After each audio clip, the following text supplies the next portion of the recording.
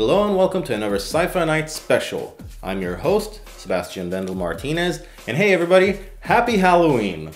So anyway, in the last episode, I did a top 5 list with my buddy Joseph Ari, and when we got to a number 1 spot, The Thing, I kind of wimped out. That's because I love this movie so much that I want to talk about it in depth in this Sci-Fi Night special. 1982's The Thing, directed by John Carpenter, is not only one of my favorite sci-fi and horror films ever, but it's also my favorite film to watch on Halloween, as established in my top 5 Halloween movies segment that I did with Joseph Ari, which you can view by clicking here. So, I guess most of us already know the story. A research team working out in Antarctica find another research site that seems to have been ravaged by disaster, or quite possibly the worst bachelor party ever. They eventually realize that this is the work of a hostile alien being capable of shapeshifting into anything it comes into contact with and replicating it perfectly. So, stuck in one of the most isolated parts of Earth, still not as isolated as North Korea, but you guys get the idea, the research team has to figure out who's an alien and who's a real human. The reason this is such an amazing Halloween film is the ambience. It's perfect for a spooky evening and the isolated feel and great cinematography in combination with a minimal but well constructed score make this such an atmospheric film that just draws you in and creates the same feeling of isolation around you. You might as well be out in Antarctica along with them.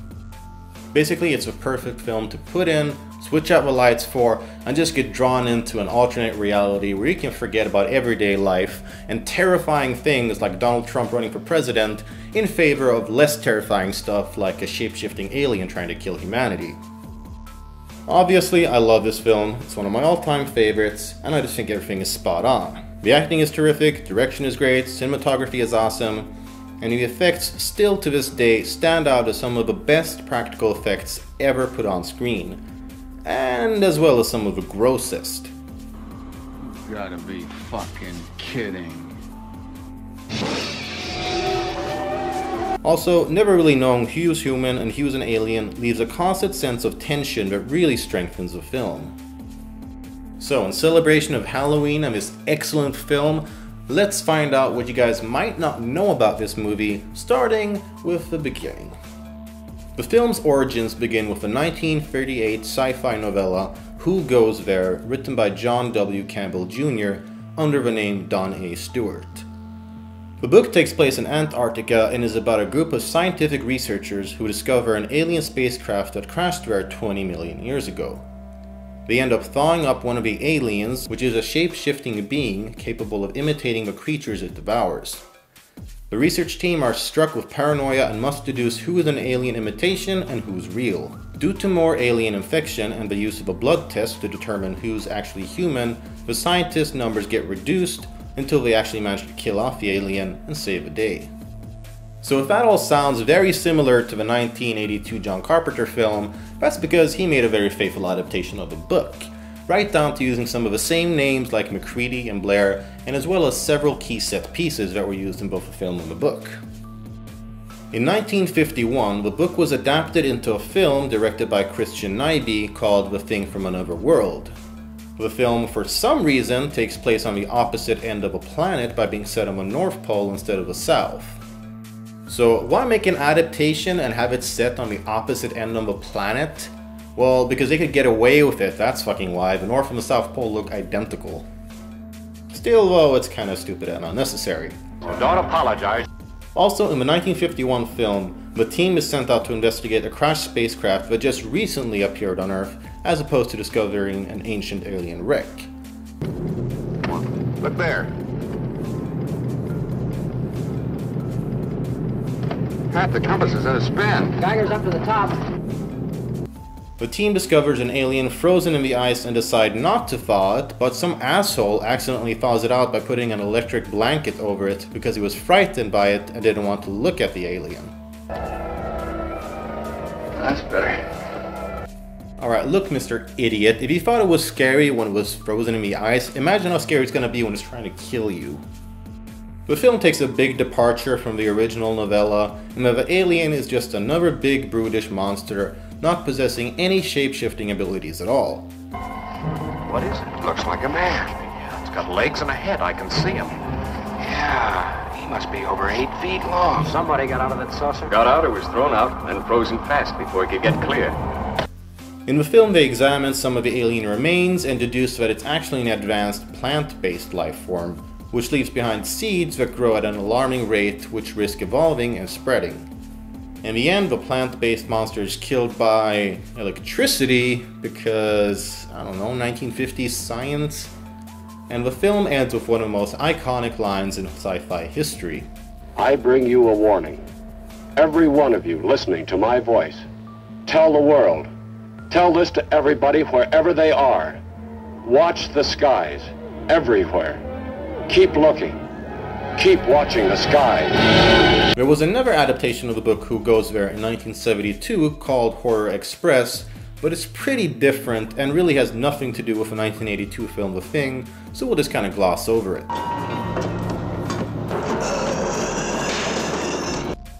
So with those two previous adaptations out of the way, let's move on to what is basically the seminal adaptation of Who Goes There, John Carpenter's The Thing. So let's check out the making of this classic film. Universal decided to go ahead with making The Thing after the success of films like Alien and John Carpenter's Halloween. We decided to give Carpenter his first big break in major filmmaking simply because of how well he handled the horror masterpiece Halloween. The film was shot both on sound stages in Los Angeles, but as well as in British Columbia, Canada. The film took around three months to shoot and was unusually expensive for a film of that sort, as it got a budget of $15 million. Now compare that to Carpenter's Halloween, which only had a budget of around $375,000. So it sure says a lot that Universal were willing to give Carpenter a budget more than 10 times of that that he actually had on Halloween, and boy are we glad that they did. The film is pretty unique for 1980s sci-fi horror as there are no women in the film at all. This has over the years strengthened the film as there are no useless romantic subplots or stereotypical damsels in distress. The only non-male presence in the entire film is the female voice on MacReady's computer, and it was none other than John Carpenter's wife at the time who did the voice acting for the chess program.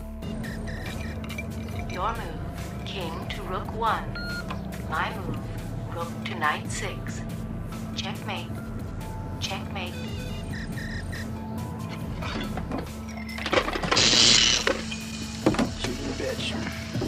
Originally, there was supposed to be a female scientist in the film, but the actress who was supposed to play her got pregnant and had to leave the set, being replaced by a male actor. So we all love Kurt Russell as MacReady in the film, right? Well, guess what? He almost didn't star in it. The role of MacReady was first offered to Nick Nolte, Jeff Bridges, and Clint Eastwood, but they all turned it down. Get off my lawn. Of course, luckily for us. The character of MacReady was also originally supposed to have a backstory as a helicopter pilot who served in Vietnam, but this never made it into the finished film. Filming in British Columbia was harsh, like really harsh, and that's because they actually filmed in the snowfall capital of North America, and that actually costed them $75,000 just to keep the cast and crew warm. Now that's dedication. Part of what makes the film so atmospheric is the dark and minimalistic soundtrack.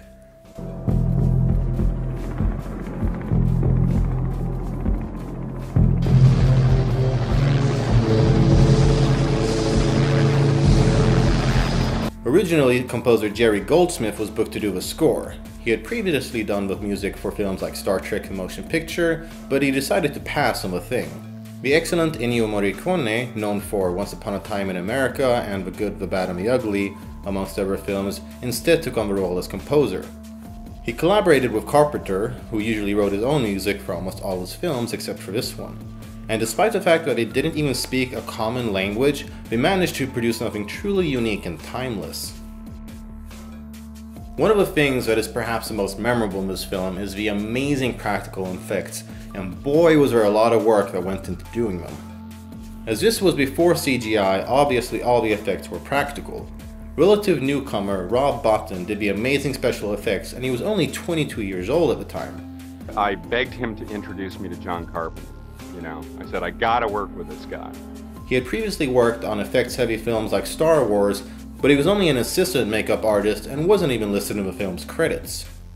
Now, Bottin's creations are amazing and timeless, but they definitely came at a cost. In the classic autopsy scene where Norris's head separates and sprouts legs, there were some live flames on set. However, there was also flammable materials and gases that were used which caused the set to catch fire. Luckily, no one was hurt, but the props and special effects models that Bottin had spent months working on were all destroyed. Months of work preparing for this moment was just blown to bits in, in just a second. So we, you know, put it out with fire extinguishers and stuff like that. And, and then he just goes, oh my God. We had to set up, take a whole nother day to get back to this point and finally just accomplish the one shot. Now, some people might have given up after a disaster like that, but not Bottin. He got right back to work. He worked so tirelessly on the thing that he literally lived in the studio certain days. He worked so hard that he had to take a break from work due to being diagnosed with exhaustion and had to be admitted to the hospital. When Bottin was in the hospital, special effects legend Stan Winston took over the handling of special effects, but Winston was so impressed by the work of a young talent Bottin that he didn't want to overshadow him and asked that he not be credited for the effects. Instead, he received a special thank you at the end of the film. After the thing, Bottin would go on to do special effects for movies like Robocop, Total Recall, Seven, and even an episode of Game of Thrones, and I'm glad to say that it's one of my favorite episodes. So even though this film is considered a classic in today's day and age, and I say rightfully so, it definitely wasn't when it was first released. No, in fact it got a pretty shitty reception. Yep, that's right. Despite this being John Carpenter's favorite film with a nice 8.2 rating on IMDb, the film did not do well when it was released and received a negative reception from both critics and audiences alike. What the fuck is this? They complained that there was too much gore and effects, and also that the tone of the film was too bleak and dark. It's a crock of shit. The New York Times called it foolish, depressing, and overproduced. Roger Ebert was disappointed by the film. The Washington Post called it a wretched excess, and Newsweek claimed that Carpenter had blown it. It's weird and pissed off, whatever it is. So if you're a fan of a thing, then leave your jaw on the floor because there's more bad criticism where that came from. The film costed $15 million to produce and opened at 8th place in the box office, which isn't particularly encouraging. To depress things even more, the film only made around $19 million for a $4 million profit, which is by no means an economic success. The Thing was released just two weeks after E.T. and on the same day as Ridley Scott's Blade Runner, so it had both tough competition as well as an audience that all of a sudden had a very different perception of aliens. Yeah, I mean, think about it. America had just fallen in love with a peaceful alien ET, and the next thing you know, you got a horrible monsters ripping people to shreds and sprouting heads wherever. I mean, obviously, it's a pretty big difference. So I guess you could say there was some pretty bad timing involved here, but I don't know if that's the only thing that went against it. The Thing was actually even originally banned in Finland for having such graphic depictions of violence and gore. And get this, the film was nominated for a Razzie Award for Worst Soundtrack. So yeah, you got that right. The film was criticized for its effects, its atmosphere, and its soundtrack, three of the things that make it great. And that just goes to show you how ahead of its time this movie really was. That didn't stop Carpenter from taking it all very hard, and he's been quoted as saying the following I take every failure hard. The one that I took the hardest was The Thing. My career would have been different had it been a big hit. The movie was hated, even by science fiction fans. They thought that I had betrayed some kind of trust, and the piling on was insane. Even the original movie director, Christian Nyby, was dissing me. Luckily, this film would age gracefully like a fine wine because it's today considered an absolute classic, and in my opinion, it's one of the top 5 sci fi horror movies ever made. The film still lives on though, and it's left quite a legacy behind it. The 1993 X-Files episode Ice is a direct homage to the thing, which is pretty noticeable when you watch it, as it's about a group of people stranded on a research station in a snowy climate with a virus that infects and takes people over. It was inspired by The Thing, as uh, anyone who knows the genre will tell you. Carpenter's version of a story was also adapted into a video game for Windows PC, PlayStation 2, and Xbox in the year 2002. The game takes place in the same location as the Carpenter film and contains plenty of nods to the film. Despite a few glitches, bugs, and graphics that haven't aged all that well, I actually really like the video game version of the thing. What's interesting is the squad dynamics, as you encounter medics, engineers, soldiers, and so forth, as for some reason Antarctica became extremely populated. I'm locked, loaded, and ready to make shit dig! The film's theme of anyone being able to be an alien is translated into the game as your squad mates can end up turning into aliens. Some of them might already have been a thing when you first met them. You can both test your squad mates over human status using blood tests, and also reassure them of your own human status. You got the kid? Good. The report said the hypo contains a chemical that reacts with blood. Do it. We'll soon know, one way or another. Now I'm gonna show you what I already know. Maybe they won't trust you until you've given them a weapon, and if they don't help you, you might not be able to proceed to the next stage. There was also a novelization of the film, as well as a series of comics released by Dark Horse in 1991. The legacy of a thing would, however, get rejuvenated as of a couple years back. So, as with everything that's considered a classic, a reboot, sequel, remake, or re something is bound to happen, and The Thing is no different. In 2001, a prequel of The Thing was released, given the extremely confusing title of just The Thing. The people who made the prequel convinced Universal to make a prequel instead of a remake, as we felt that Carpenter's version was perfect and that doing a remake would be like painting a mustache on a Mona Lisa. However, they couldn't think of a good subtitle for the film, so they just called the prequel The Thing. The 2011 film tells the story of what happened at the Norwegian camps before Kurt Russell and company showed up. In the film, the Norwegian research team discover a crashed alien spacecraft and they recruit two American scientists to help. Because you can't expect people to read subtitles in an American film, no, of course not. There were a lot of practical effects used at the core of a production, but most, if not all of it, was masked with CGI, which I really think is a shame. When you're doing a prequel to a movie famous for its practical effects, why not continue with what made the film so great? Also, it's kind of hard to watch the film and not think, oh, well, geez, I already know what's gonna happen on account of it being a prequel. And while most of the monster designs and effects were pretty alright, some seemed a bit too derivative of the first, and the others just kind of seemed a bit silly. Despite plenty of flaws, I still mostly enjoyed the 2011 prequel to The Thing, as they put a lot of hard work into it to make sure that it tied in with the first classic. From the placement of things in the Norwegian camp, to the remains of monsters that are created in the prequel and later show up in the 1982 film, there sure are a lot of connections and preludes to the events of a 1982 classic. This is what ties the two films together pretty well. One great example is the split-faced monster whose body is discovered in the 1982 film, which plays a big part in the 2011 prequel. However, I feel that they showed off too much of the monsters and that the film at times gets way too cliche and far removed from the style of a 1982 film. So, is the 2011 version as good as the 1982 classic? No, of course not. I mean, it's basically all CGI. Still though, think of it as a nice dip sauce to your main course. Still though, that's not where the legacy ends.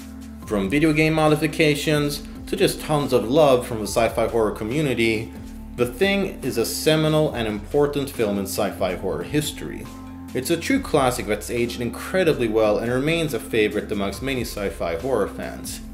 Despite all the production problems and the really bad reception it got from fans and critics alike upon release, it still stands strong today and really only got such a reception because of how ahead of its time it was. I mean, yeah, it wasn't the film's fault that it got shitty reviews. The film was just better than the people at the time could handle. Obviously, I love this film, and you should too.